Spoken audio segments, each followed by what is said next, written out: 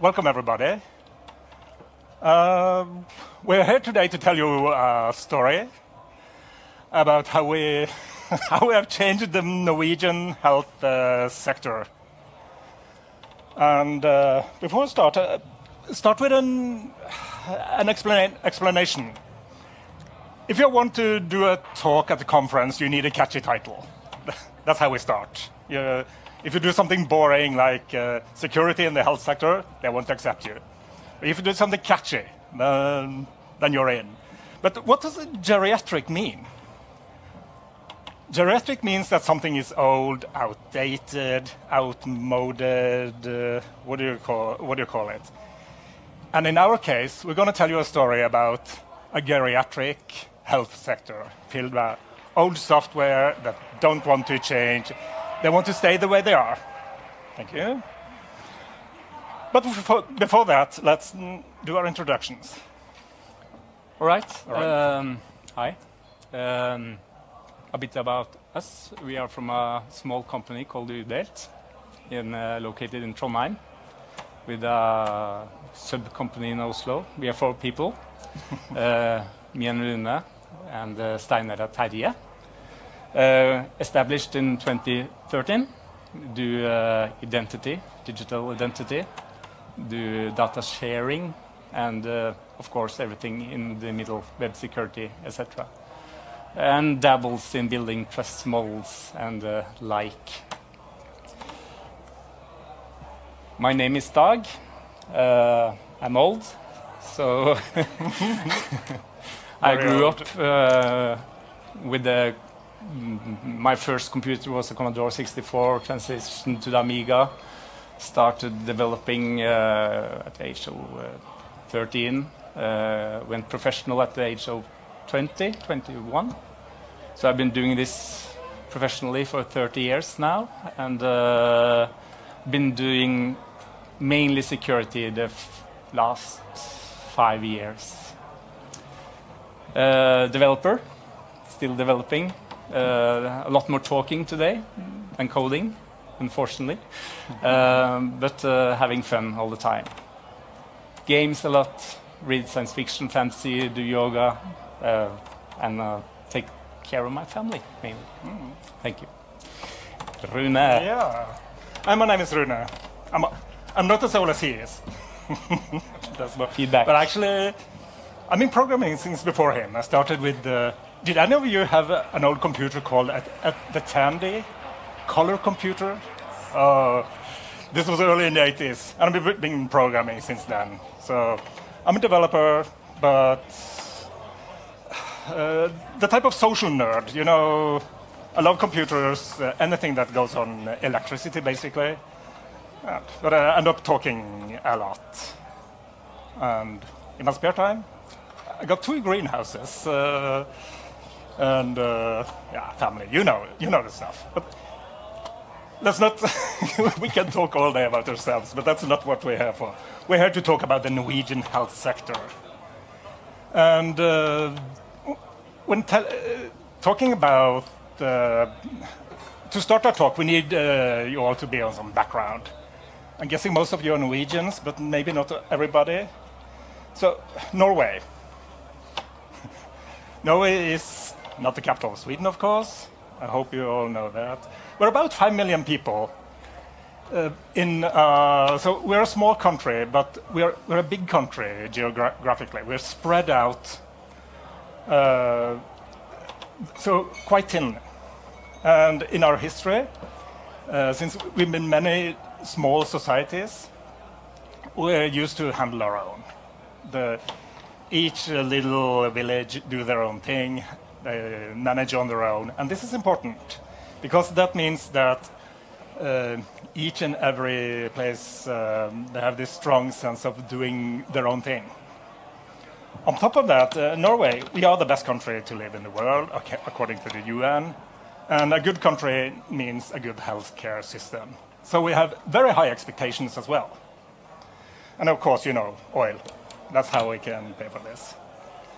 This means that uh, the Norwegian health sector, there are, since health- healthcare is free in Norway, and uh, we aim to be the best in the world, it, it has some uh, consequences for how we work. Uh, the Norwegian health sector is primarily divided into four, region, four regions. Each of those regions are their own separate uh, organization, and they mm, they cooperate. That's not, uh, but they are completely separate, distinct uh, organizations. And uh, th this is part of our history. We are used to doing our own thing, and we do that in healthcare as well. On top of that, we're not only for four regions. We have primary healthcare, where each municipality uh, do their own thing, and we have uh, hundreds of municipalities. We have thousands of doctors' offices, and again, each and every one of them are their own organization, doing their own thing. On top of, on top of this, we have the national national providers, the one we are working for, the Norwegian Health Network. They are um, our customer. Norsk Helsenet. Norsk yeah. And we have uh, several other large organizations that uh, offer common uh, software for the health, uh, the Norwegian health sector.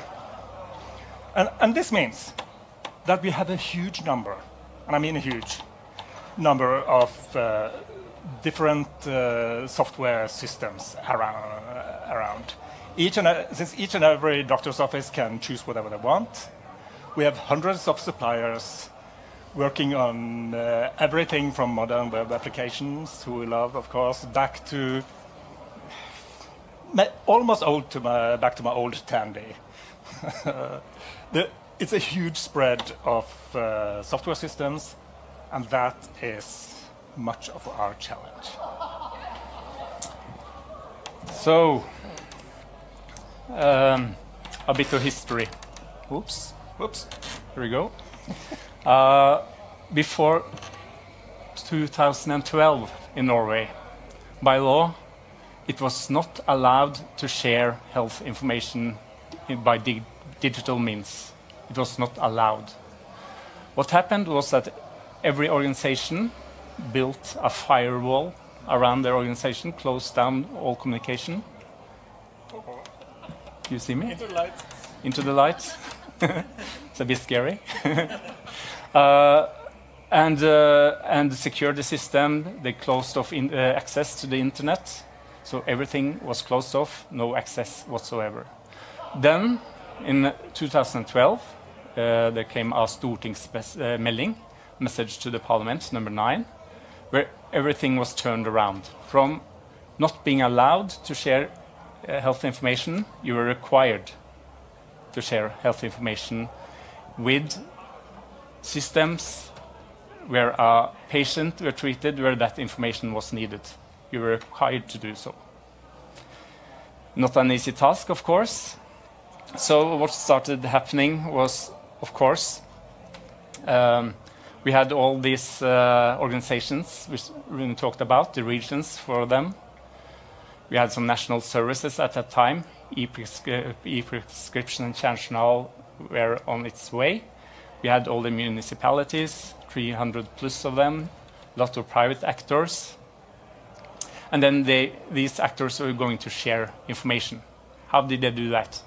Well, of course, they did it on demand, point by point, integration by integration. Every time they did it, they had to start uh, from scratch Point one, uh, who are the users? Really difficult here because all the users were local to the organizations. They had to decide on how they wanted to identify systems, organizations. They have to uh, uh, enter contracts for doing it. And they had to decide how they were going to secure the integrations. Every time they did it, starting from scratch, again and again and again and again. So chaos, of course. It's, uh, it's not scalable, uh, scalable, scalable at all. So uh, something had to happen. Uh, so there was a process. Uh, people got together, talked, discussed. Uh, director of eHealth, a lot of other actors from the regions, and they um, determined certain requirements. They needed to be able to tell an API which person is requiring health information right now, which health personnel, which organization wants some data, and they needed to find a common way to secure the integrations. So in 2018, a central service was introduced called HelseID. This consisted of first, in Norway, we are really lucky because we have a national ID. Each person in Norway has a unique ID, fødselsnummer, and we have some existing, uh, existing EID schemes, ways of securely identifying persons. BankID, of course, which everybody knows. Uh, we have Buypass, Commercial Actor, and Commfides. So we build a service where we have integration to these national EIDs. And also we build integration to all the actors, all the systems, where we can, where the, they can, of course, use the service to identify persons. Uh, they can use the integration to in, uh, identify organizations on different, different levels. And the APIs can use the service. So something like this, but how to build it.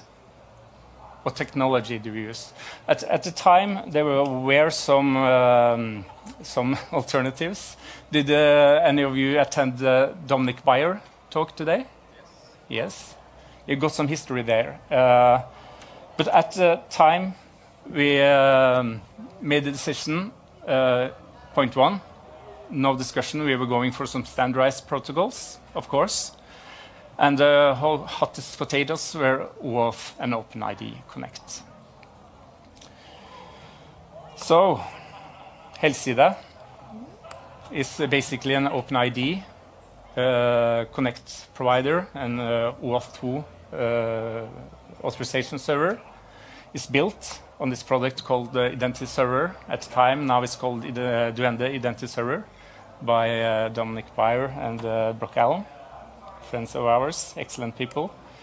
And of course, a lot of stuff on the top to provide the functionality we need. Uh, I won't go into the technical details of the protocol or anything. Basically, HelseID is a, a, service which is integrated with all the different EID providers in Norway, uh, in, in, addition to ID-porten which most people know, I ex ex expect, another uh, ID portal. Also, we have integration with the regional EIDs. We are building on that, working on that. Uh, also, we are using um, the applications are integrating with us uh, using mainly two uh, different endpoints at our service. First, we have an endpoint for user authorization, authentication, not authorization, uh, authentication. Uh, an important point is that this endpoint requires the use of a browser. That's a really important point because you need an UI to log on a user. Also, we have an endpoint to provide the credentials needed, point one, to prove to the application that the user was logged in and who he is. Second, to get access to the APIs tokens, basically. JWTs, signed Java to uh, web tokens. So uh, when we had kind of designed the system, how uh, there was a lot of challenges building it. But the first challenge, of course, was getting APIs aboard. Uh, without APIs, we were of no value whatsoever. Uh, there were some uh, existing APIs in Norway at that point. Uh, you had the e-prescription, and we had the core health journal, Kjernejournal, which maybe some people have heard about. Uh, Kjernejournal is um, an EHR, a journal system, which is national, contains a small amount of critical information, health information about all people living in Norway. For example, if you are allergic to some medicine uh, and, you, at some point you get sick, you get uh, driven, to, uh, you get, uh, you have to go to the hospital, you're getting an operation, for example, and the doctor needs to know if you are allergic to some of the medicines he has to use. Uh, at that point, uh, there's a great chance that the hospital wants it on this information. So the doctor has to ask you. You might not be able to tell him, or maybe not remember. That is the purpose of Kjernejournal. We have one central place where such uh, critical information can be stored. Uh, at the time, uh, had built their own security mechanisms. They had their own integrations to national IDs. Uh, we went and talked to them. There was a lot of discussions. Uh, they saw that we were going to provide some of the stuff they had built themselves. The stuff they had built was not really their core business. That was not their main function. So they saw the value in using HelseID. Also, we could provide some functionality they really didn't want to build themselves. So we agreed on a strategy to migrate Kjernejournal to HelseID. Uh, and we are still working on that. Uh, it's going. things move slowly. Uh, HelseID is used to large extent within the municipalities today, and uh, we are slowly migrating older systems. Uh, for new APIs, I should change the slide, really. Um, we spoke with several actors. Uh, for example, we talked to the Norwegian Institute of Public Health at the time a lot, uh, FHI, which most people know nowadays. Uh, we got them on board to provide uh, an API for, at the time, they were uh, working on digitalization of what you call dødsmelding. Uh, when a person dies in Norway, you have to fill out the schemes and deliver to, to the tax department, to Folkehelseinstituttet, to various actors. Uh, it was uh, on, done by paper at the time, so we were working on making a digital version of it. And we got uh, Folkehelseinstituttet on board to use HelseID to protect their APIs, to provide uh, so systems can send messages about people dying to them. It's a, it's a bit sad talking about it, I feel. uh, so the big win was that when the pandemic hit, uh, Folkehelseinstituttet was already prepared. They were using HelseID, they knew HelseID as an API. So it was decided when uh, they saw the need to provide nationally, you had to provide Folkehelseinstituttet with information about vaccinations and test results, etc. So they decided we are going to build APIs, we're going to use HelseID and all the various actors, all the vendors of applications around Norway, which provide functionality around this, we're going to integrate with HelseID. Uh, did that, and it was a great success. Uh, some applications were built in weeks uh, because we use standardized protocols. We can use existing libraries. It's not a lot of code, and it's well known how to do it. I have to say the slogan here, communication, persistence, and patience. I really like that one. That's how we solved it. okay. Yeah. So, APIs.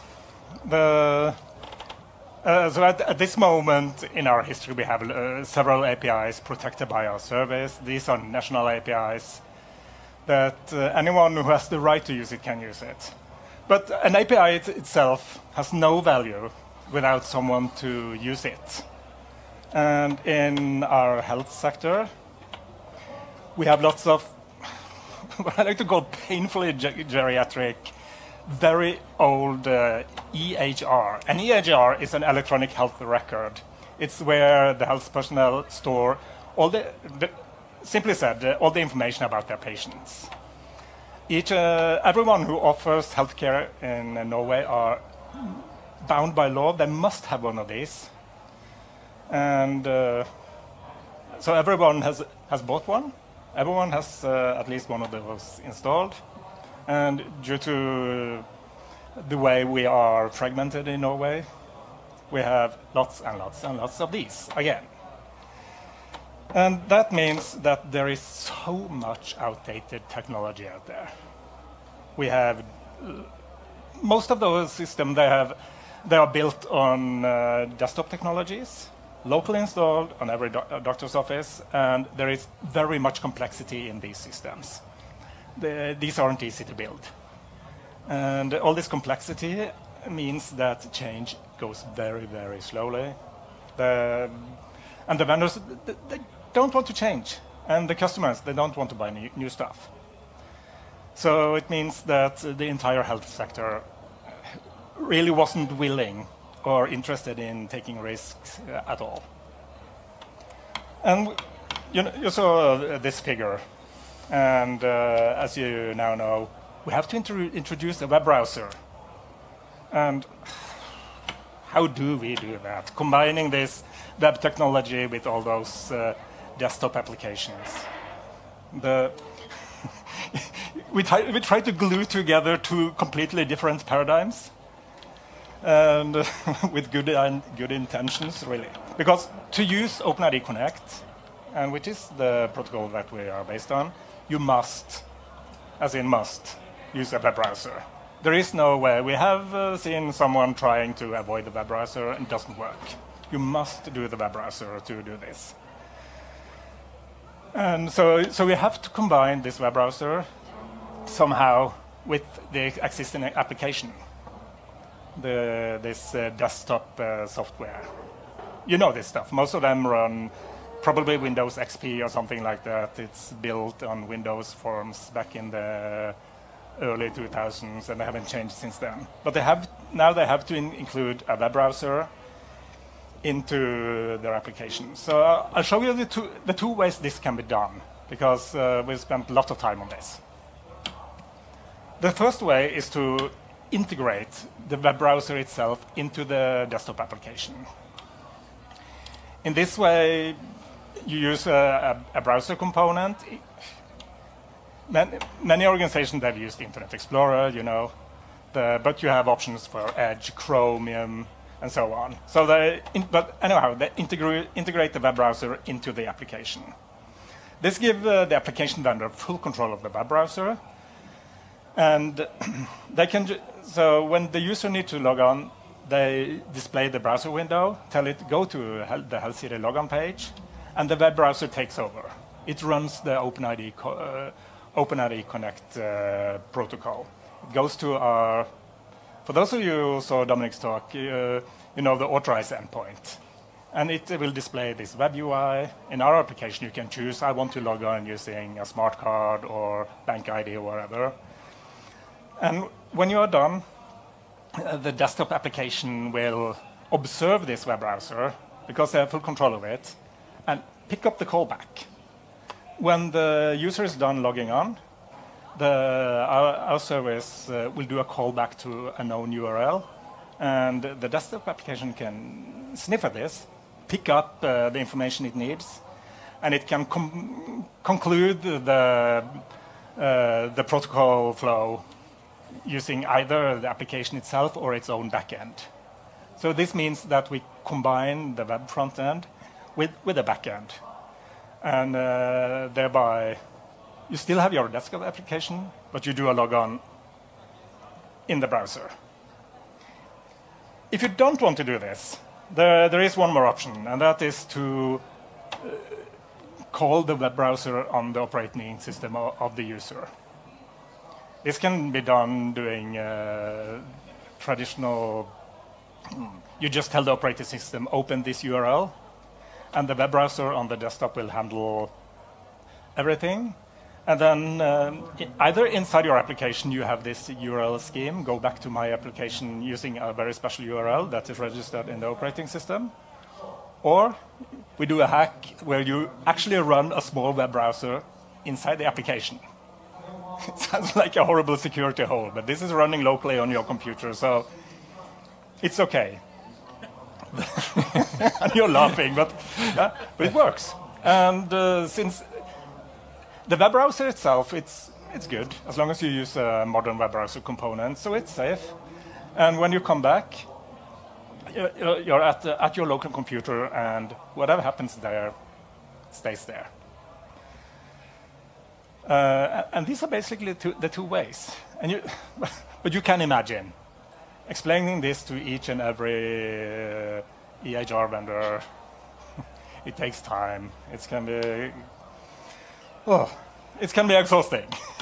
so, but I uh, just have to say that while mm, it sounds like like a dark and uh, not very happy path, not everything is bad. Yay! We need a happy slide.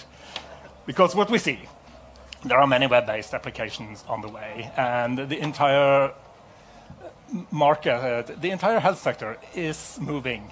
And this is like a snowball that's growing, it's getting traction, and it's moving faster and faster. And the entire sector is, is moving from uh, using this old system, the thick clients, all that, over to web applications built with um, OpenID Connect and OAuth 2 as the fundamental.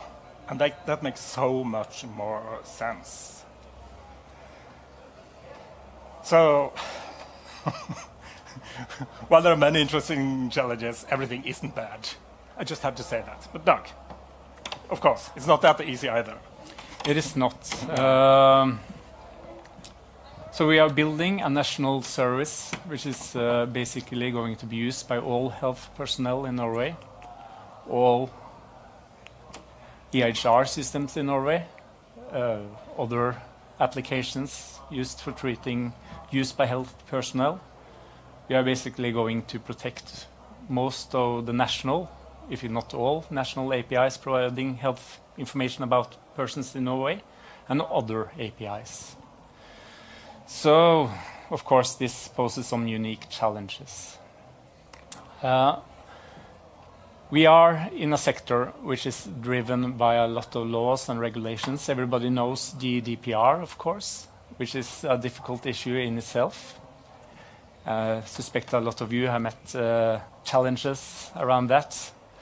Uh, as an architect or designer or developer, you can design your perfect product. It provides all the all satisfy all the requirements your user have, all the business requirements, and it's perfect. It's solid. It's performant. It scales everything, and then some uh, beep uh, legal persons come and say that uh-uh, that's not allowed. You can't do that. So you have to rebuild. So uh, this happened, of course, a lot some years ago. No people have really GDPR in their mind when they build systems, so it's privacy first. You have to take account into the, uh, the laws into account. In health, we have a lot of other laws than the GDPR, uh, which regulate how we build systems. That's a large, a big challenge. We have to involve legal persons uh, early in the process. It really decides upon a, big it's a, large uh, factor when we uh, create our architecture and where we store our data, what data we can store, what we have to fetch from other places, what information we can log, for how long time we can log it, what do you do with, uh, yeah, uh, there is a lot of really challenging uh, issues. also, what is a bit of a challenge, uh, something we have experienced during the years, is that when two worlds collide, that's the legal sector and the technology sector, and you get people who have to talk to each other, and you have your own language, you know, your tribe language, and you use the same words, which means different things. A lot can go really wrong in the discussions. You can really, really end up believing that you understand each other but don't, which can have large implications later on in the process. It's difficult, and it's a, it is fun. It's really fun. Believe me or not. After a while, it gets, gets fun. Uh, also, uh, HelseID is basically a startup. Uh, we have uh, been doing this for some years now, but uh, we are just now getting the snowball rolling. We did uh, do some mistakes early on. There are movements security-wise where we have to change things, we have to provide new functionality. We can do that quite fast, but the problem is that the systems using us is not built like that uh, by, because of various reasons. Uh, and the systems are critical for treating people, treating patients. Some systems are, uh, are built uh, by third-party vendors, uh, international third-party vendors. Uh, some uh, systems are built uh, based on a yearly budget, and then you don't have any large budget anymore. Some systems are locally deployed, and they have a really complex deployment, so it takes a lot of time to roll out new versions. So when we introduce changes, we can't do it quickly. We have to be backward compatible for a long time. And if we do introduce breaking changes, we can't introduce them before. We have to have several years of lead time in some cases. So that's a bit of a challenge. We have to move slowly when we want to move quickly. uh, also, we do have to put a lot of thought when we build new stuff. Because when we have launched the new stuff and it's getting used, we are locked in for a long time with that stuff. Uh, also, yeah, I won't go into that. Finally, uh, we have touched upon this, but uh, Helside can't be unavailable. Uh, when a system is dependent on Helside, for either just functioning. In some cases, that's they, they're dependent on uh, Helside for just logging on users, or they uh, are dependent on Helside for getting critical information in a treatment situation. Uh, we can't be available anymore. It's a life and death thing. So uh, we are, yeah, I think Rune will get into this now but we are uh, thinking a lot about how do we stay available all the time and perform as we hmm. should. Yeah. Uh, Dag presented, uh, explained, we have been like a startup. We haven't gone on for, we haven't been doing this for so many years. We went into production in 2018, and uh, of course, we're still, still learning. But uh, we have started getting some serious traction. We are now used by most, if not all, the national e-health services in Norway. All the national APIs, everyone, they are using us uh, to do their access control, user logon, and, and that stuff. That means that, uh, that doesn't mean we, we are done. We are uh, we are growing, and we see a lot of change coming. But already we are seeing about uh, 1 million tokens, security tickets, uh, that we create every week. About 100,000 people do logons using our service, and we have more than 500 different clients, software systems that are using HelseID in our production environment. That's not bad, I think.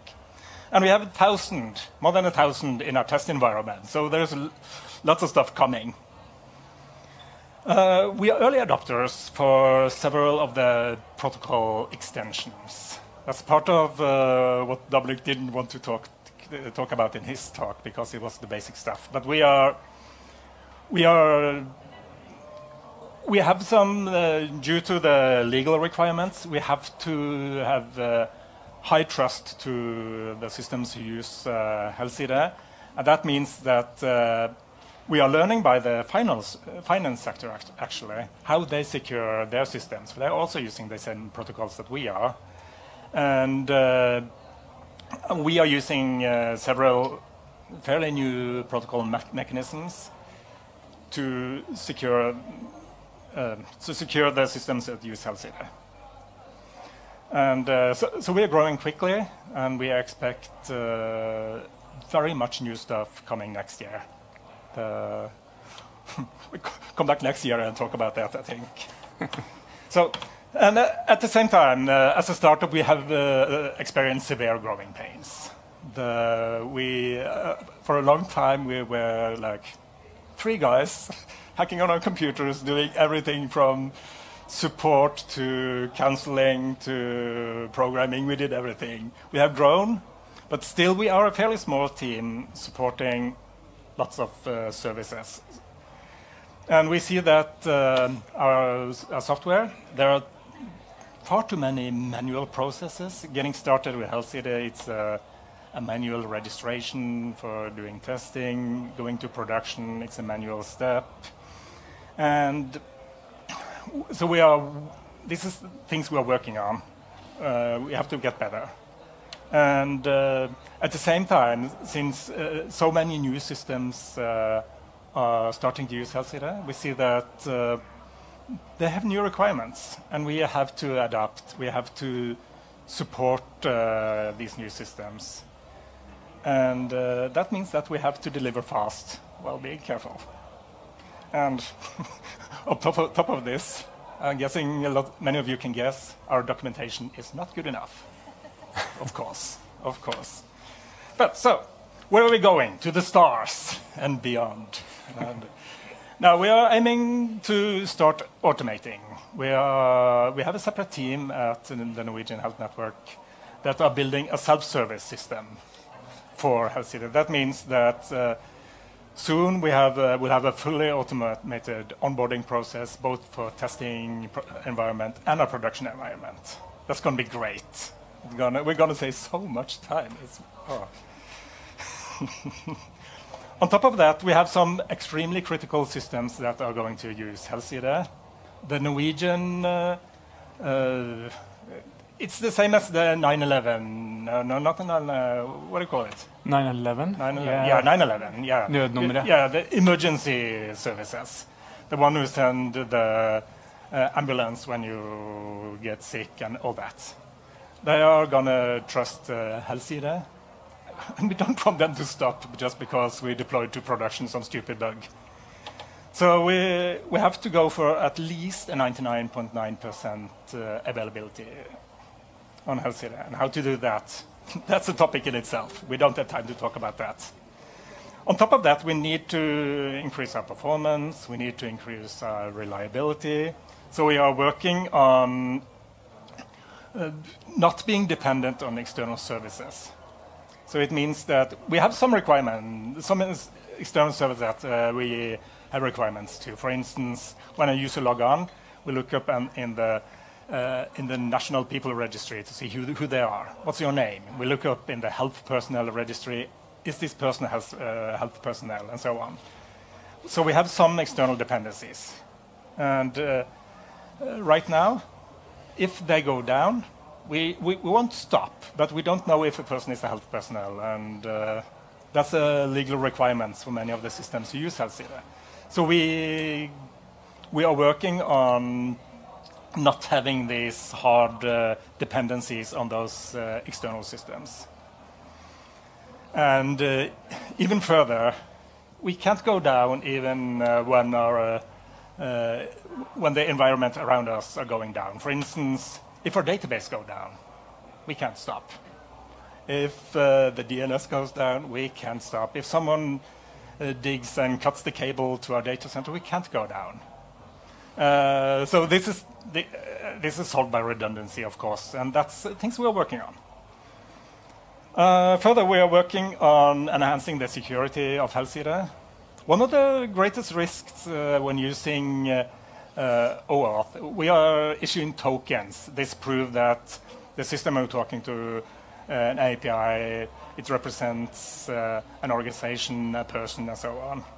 If someone steals that token, then they can impersonate that person, that system, that organization. We want to avoid that. So we are looking at introducing mechanisms that uh, guarantee more or less that uh, whoever calls an API is, is the right owner of that token.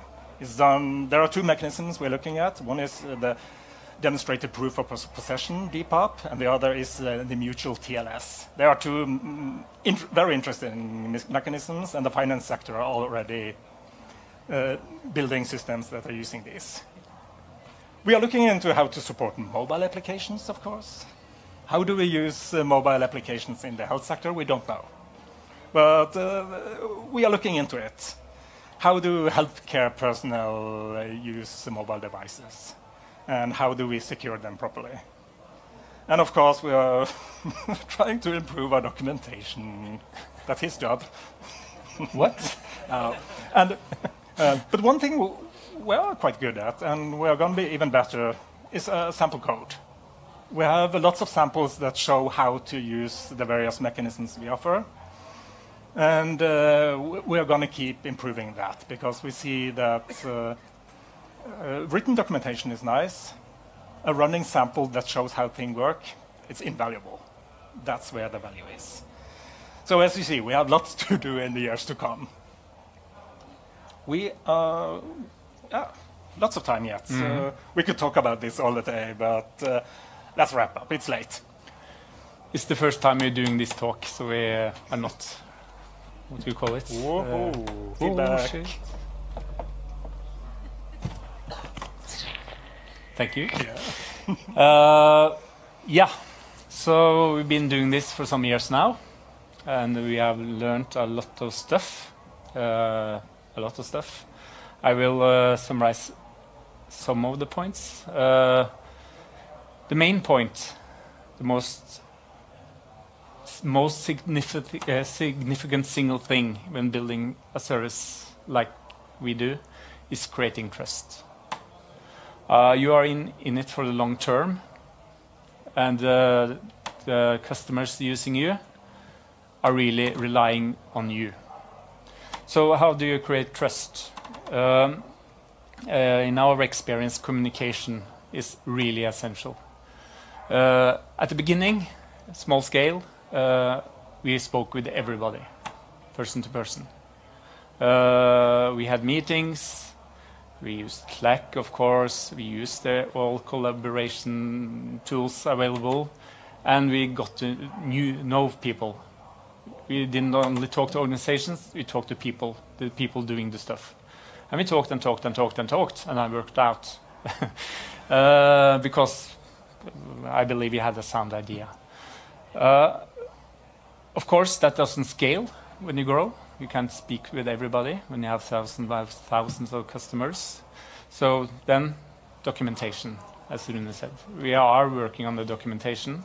Uh, it grows better and better. Documentation is difficult to maintain. Uh, it's challenging, but we are putting a lot of effort into it, or are going to put a lot of effort into it. Not yet. uh, sample code, of course, treat your sample code with tender care. It's going to be copy pasted everywhere, so uh, keep it up to date. Put a lot of effort in it. Uh, comment a lot. Uh, if you don't want it to be copy pasted, be really explicit about it. Uh, right now, we are mainly a .NET uh, C Sharp shop, but uh, we serve customers doing all kinds of languages have examples in all kind of languages. Uh, we are not that good at that yet, but we are working on that too. Uh, let me scroll down here. Yeah, uh, I shall mention that. Uh, we are working on, and this is uh, XP Gained, working on building a common trust model for the national health sector. Uh, which is extremely challenging and really fun. And it's really important when you are going, uh, getting into the data sharing bit at the national level or a sector level. Uh, there are going to be some talks about that at NDC Security, so look that up. It's a large topic.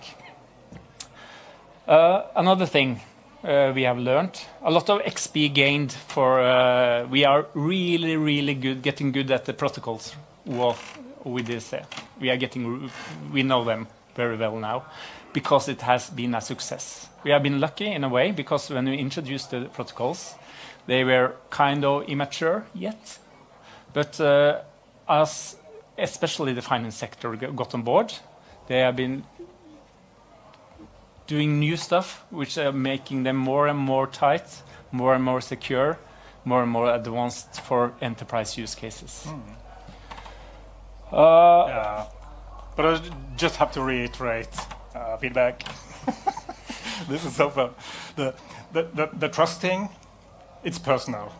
The uh, people don't trust organizations; they trust people, and this uh, this personal meeting people, talking to them, uh, explaining what's going on, it's been really important uh, for City to get traction, and. So if, you, if you're a startup, if you're building something, you want uh, to get uh, people to use whatever you're building, know your stuff and talk to your customers. I think that's the most important I thing. agree. I Yeah. agree. I agree.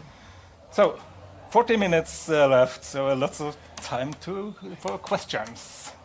Uh, but thank you very much. Enjoy the rest of the conference. Yeah. So just grab hold of us if you want to talk with us. You know, a question? Yes. Yeah, we are taking questions. Well, Let's start here. Um, What's the relation between HelseID and Norsk Helsenett? The re- what's the relation between the HelseID and Norsk Helsenett? Norsk Helsenett, uh, the Norwegian Health Network, they are the national service provider for the health sector. They offer lots of uh, uh, national systems, infrastructure, and so on. And uh, is owned by Norsk Helsenett. So they own the software. We are consultants. We we have been consultants for a long time, and but they, we are part of a greater team inside Norsk Helsenett who are delivering the software. The, so Norsk Helsenett they, they own it, they um, and they are also running the. They are the operations team who are running everything. They take the responsibility for the software. Is that uh, okay? Good. Another question up there. Yeah, uh, regarding to the uh, integration that you have been doing with the Health ID, um, it seems quite logical because in the old times, each single uh, like Basel office were doing like their own application, and then it makes sense that we're doing an integration because we didn't have the technology at that time. You can see, for example, like nowadays we have like I don't know how many marketing applications do we have, and, uh, and you don't seem to uh, there, it doesn't seem to be somebody organizing all those applications. It, it looks like everybody's doing their application on their own, and uh, and uh, without those applications are coming a lot of uh, wasting of money. We can see, for example, that there haven't been any control with the Smith uh, uh, app that was removed, and then we have the case of the Smith application from Denmark that a lot of users were installing on their phone. So, so my question is, who is approving all the applications before they get released? Is there anybody say, saying, you know, let's do this stuff correctly? Let- Let's not create thousands of marketing applications. Let's, let's go to make a standard. Who, who is it responsible for that, uh, for, for that kind of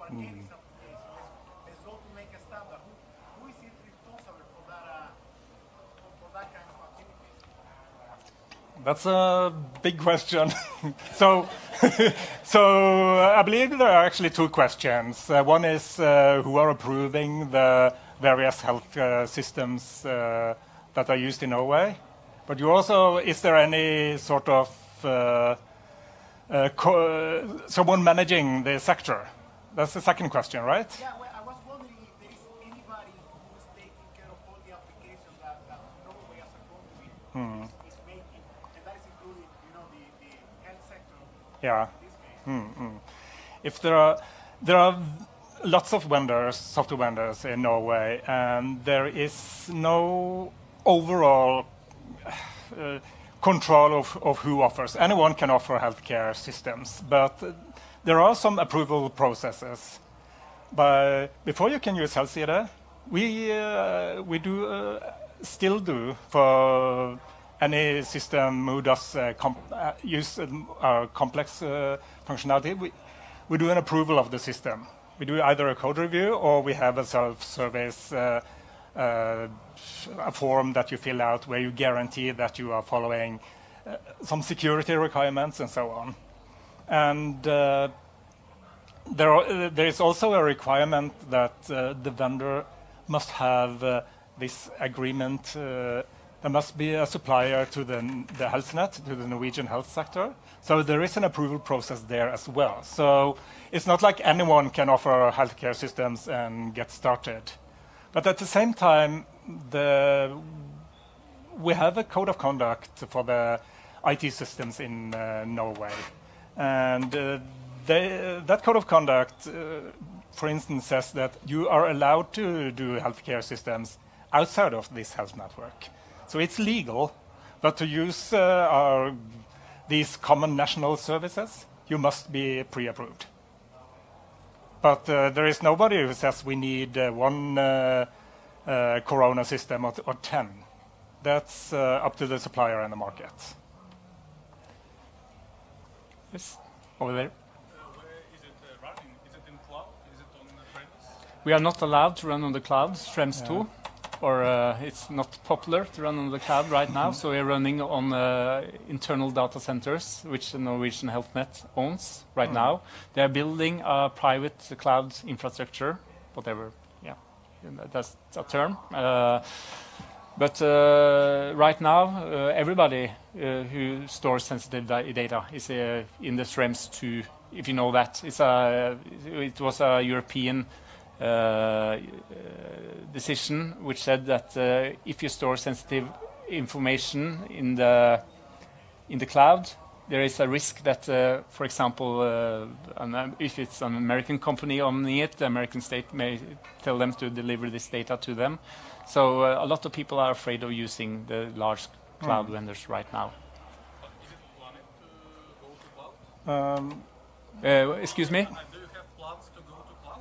If you have plans to go to the cloud, uh, not right now. We are thinking about using the cloud as a fallback fallback situation, so where we have a read-only co- uh, copy on the cloud, uh, and have zero redundancy redundancy in data centers in addition to that, but uh, not as a first no. choice. We are running. Uh, we have lots of redundancy across uh, the Norwegian Health Network. They have data centers in Trondheim and in Oslo, and we are running redundant uh, both across the data centers and in uh, several nodes in each data center. So while we are fairly certain that fairly resilient, but uh, we're probably good enough for the requirements. But we bel believe that uh, we probably need something more uh, in the longer haul, but not not yet. Up there. How is our software financed? We have a product owner here. So. no, it's uh, it's paid. It's paid by the membership of uh, the Norwegian uh, Health Network at the moment, and also by uh, financing from the from the eHealth, the Directorate of eHealth. In They are conjunction with the large national projects, Yeah. where we get a bit of the money, providing some functionality. So they finance uh, new functionality and new cross-cutting uh, requirements, but the ma- maintenance and the service itself is part of the membership of the Norwegian Health Network, and that is part of the re- the reason that there is a requirement that you are a member of. Uh, uh, you are a member to use our service. Any more questions? Bring them on. Up. Uh, one more. Go on. So you said at the start that we're really lucky to have the like Norwegian identification number, like our Would this have been an impossible thing without that? If our service would have been impossible without the Norwegian and national ID, Not impossible, but really difficult. Really difficult. Because then you, you do have to have some way of telling. If you have local identities and you want to transport those identities to another party, you have to solve that in some way. Mm-hmm. So you have to figure out a way to do it. Basically, building your own then national Yeah. thing on the top. So the there is a common European initiative, the eIDAS, who offer a, a standard for national identities across uh, Europe. And uh, the Norwegian providers, they are, are built on that and inside that framework. And that means that it's been quite easy for us to pick up those, those identities and reuse them for sharing health information. Now, there, we are working on uh, picking up identities from the regions that are not necessarily based on those eIDAS, eIDAS identities to allow even simpler data sharing. But that is a work in progress, and we are going to get there, but it takes time. So we would not have been where we are today without the national services. The I party is starting. Yeah, Obviously. Yeah, the party is starting, but we have one more question, I think. No, two more. But Suggestion, not a question, but uh, uh, it would be great to hear more technical details on how all is done, because you mentioned like NASA talk, talk, Yep, yep, yep. lots of talk. Uh, we should do that. We might do that. Uh, Yeah. a, a more technical in-depth uh, would be interesting, but it's there is so much going on. So we were talking about uh, what to mention, what to not to mention, and uh, this is a much easier talk to do. uh, one more question there. Yeah, how do you know when an API is not in use anymore? And uh, how can you handle the use of many versions of the same API? How do we handle versioning of APIs and if it's in use? Uh, our, at the moment, we, there are some 20, 30, 20 about 20 APIs uh, secured by our service. Big APIs, but uh, there aren't that many. So at the moment, we have control. And uh, we are introducing this self-service system where it's up to the owner of the API to handle it themselves, basically. Yep, the, and uh, that will support versioning as well. The final question, one of our colleagues. So this is, will be a troll question, I guess. Albin, uh, no, I'll try to be really nice. Uh, really uh, enjoyed your talk. Um could you uh, uh, perhaps say something about uh, our client requirements? Just a, a few words. Not a troll. Uh, our client, what are our client requirements? Do you want to say it back? Uh, we do have some strict requirements on how uh, the, um, the applications implement the protocols. They can use a subset, basically. They have to use some parts of the OpenID Connect OAuth specification parts, we, and some parts they can't use. They have to use uh, a specific flow, authorization code. They have to use some mechanisms, PKCE. Uh, they can't use passwords as uh, client authentication uh, mechanism. They have to use uh, private public key pairs, basically. And as I said, if the, the, the client is doing sensitive stuff, we do a code review. We we uh, strongly recommend that uh, applications use uh, pre-built libraries, which is uh, approved by the OpenID Connect Foundation. That's not possible in all cases. Sometimes they have to build their own because they're using a language which doesn't have a good library.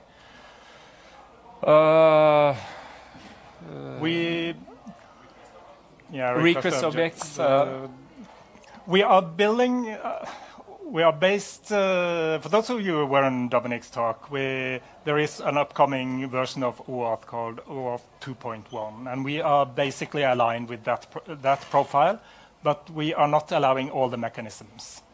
So we are we are tightening down the protocols to just uh, certain features. But if you support OAuth 2.1, then uh, you are probably good with HelseID as well. We could uh, do a separate talk about this. Yeah, we could. We could. There's one minute left, so I think uh, we'll wrap One- up. one more okay, question. One more Okay, one more question. ah, this is fun.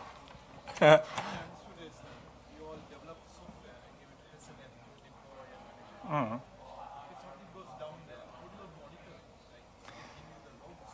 Yeah. Yeah. You were asking about uh, basically our software development process, and we are part of a larger team inside the Norwegian Health Network.